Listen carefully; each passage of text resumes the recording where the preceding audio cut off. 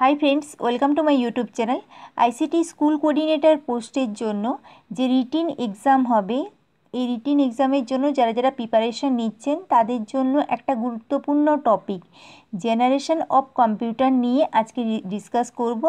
রিটিং এক্সামের পাশাপাশি আমি বলেছি, যেদিন রিটিন এক্সাম হবে, সেদিন ইন্টারভিউ চান্সের পরিমাণ অনেক বেশি। তার কারণ হলো, এর আগের বছর যখন আইসিটি স্কুল কোঅর্ডিনেটর পোস্টের জন্য এক্সাম হয়েছিল, যেদিন রিটিন এক্সাম হয়েছিল, সেদিনই ইন্টারভিউও নেওয়া হয়েছিল।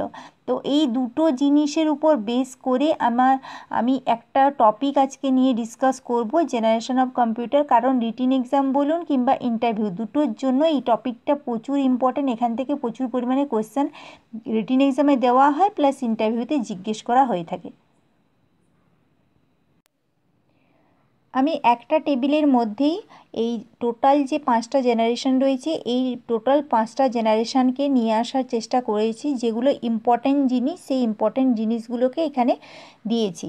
আর প্রথমে একটু আমি ডিসকাস করব যে প্রজন্ম অর্থাৎ জেনারেশন এই জেনারেশন কাকে বলে?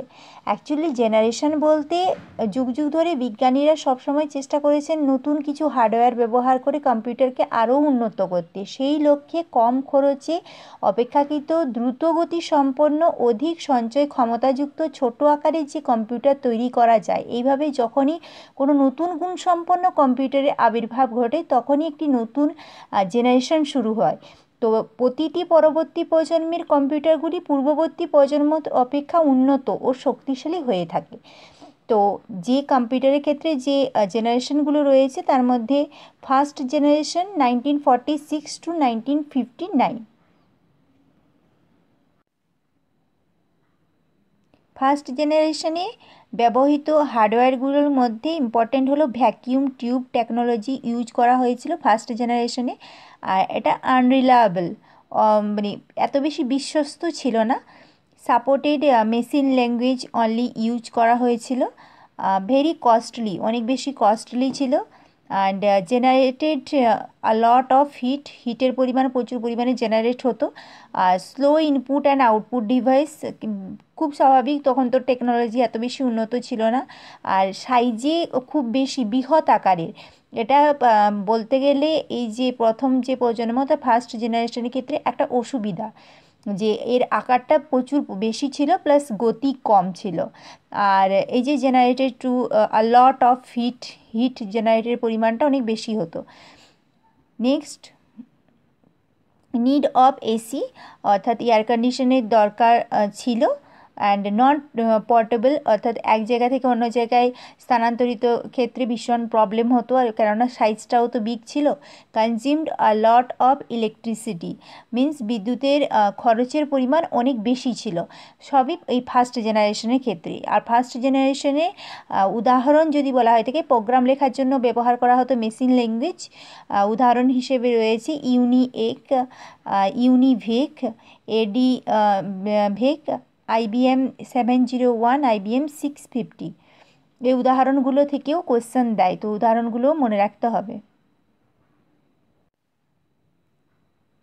নেক্সট সেকেন্ড জেনারেশন সেকেন্ড জেনারেশনের টাইম পিরিয়ড ছিল nineteen fifty nine to nineteen sixty five তখন টেকনোলজি আরও বেশি উন্নত হলো। আর হার্ডওয়্যার হিসেবে ইউজ করা হলো ভ্যাকুয়াম টিউবের পরিবর্তে ইউজ করা হলো ট্রানজিস্টার্স আর এ ফার্স্ট জেনারেশনের ক্ষেত্রে যেটা ওটা আনরিলায়েবল ছিল, এটা অনেকটা reliable comparison to first generation computers সাইজটা ফার্স্ট জেনারেশনের তুলনায় তুলনামূলকভাবে ছোট কম্পিউটার সাইজ ফার্স্ট জেনারেশনের তুলনায় হিট জেনারেটের পরিমাণটা কম। Consume less electricity comparison to first generation বা আর গতিটাও ফার্স্ট জেনারেশনের তুলনায় বেশি। স্টিল ভেরি কস্টলি রেফ্রিজারেটরের দরকার ছিল, অর্থাৎ এয়ার কন্ডিশনের and supported machine language and assembly language use করা হতো। উদাহরণ IBM 1620 IBM 7094 CDC 160 Univec 1108. Next, uh, third uh, generation, a time period uh, 1965 to 1971. তখন হার্ডওয়্যার হিসেবে ইউজ হলো IC used. IC means integrated circuit ব্যবহার করা হলো, আর এটা অবভিয়াসলি সেকেন্ড জেনারেশনের তুলনায় more reliable and size smaller generated less heat হিটটা জেনারেট করল অনেক কম, আর এর গতি faster and lesser maintenance and costly এটাতেও কিন্তু এয়ার কন্ডিশন অর্থাৎ শীতাপ নিয়ন্ত্রণ প্রয়োজন হলো। তারপর কনজিউমড লেজার ইলেকট্রিসিটি ইলেকট্রিসিটির পরিমাণটা কনজিউম করলে, করল কম, অর্থাৎ বিদ্যুতের খরচটা অনেকটা পরিমাণে হ্রাস পেল। সাপোর্টেড হাই লেভেল ল্যাঙ্গুয়েজ অর্থাৎ প্রোগ্রাম লেখার জন্য assembly language high level language ব্যবহৃত হতো, হলো। এর উদাহরণ হলো IBM three sixty series Honeywell six thousand series PDF অর্থাৎ personal data processor next fourth generation time period nineteen seventy one to nineteen eighty VLSI technology used VLSI means very large scale integration use করা হলো and very cheap খরচের পরিমাণটা অনেকটা কমেছে and portable and reliable বিশ্বস্ত and portable এক জায়গা থেকে অন্য জায়গায় নিয়ে যাওয়ার ক্ষেত্রে অনেকটাই মানে যেহেতু সাইজই অনেক ছোট হয়ে গেছে, তো ওই স্থানান্তরিত করতে খুব একটা বেশি প্রবলেম হচ্ছে না।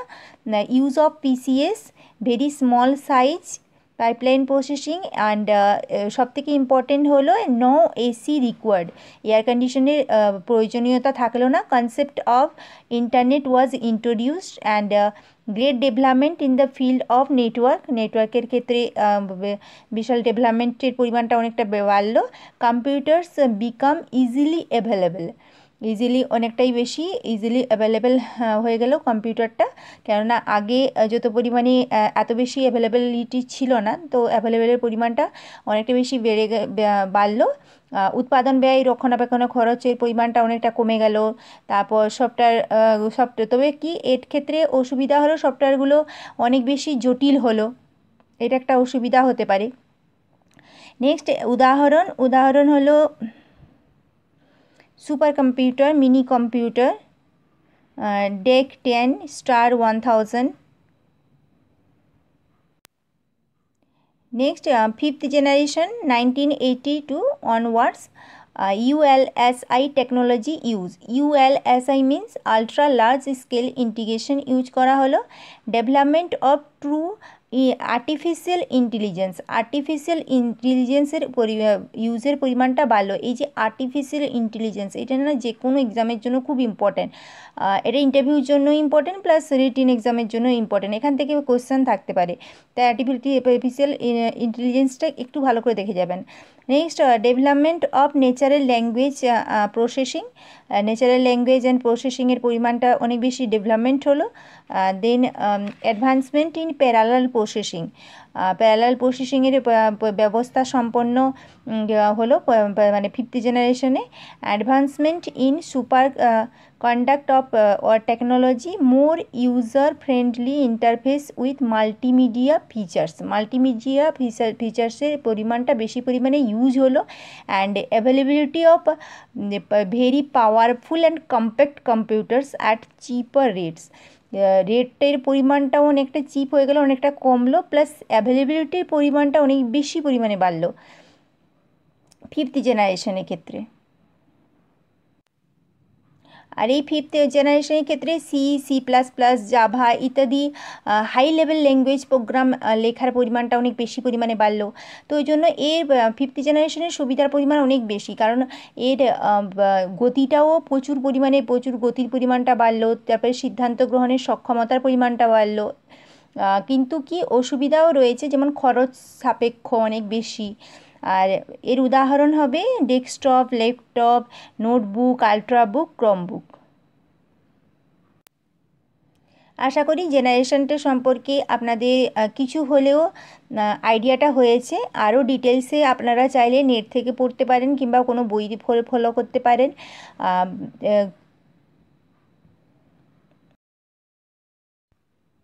বিশেষ করে আপনারা কোন জেনারেশানে কোন হার্ডওয়্যারটা ইউজ করা হয়েছে সেটা একটু ভালো করে দেখবেন। ওখান থেকে প্রচুর কোশ্চেন দেয়।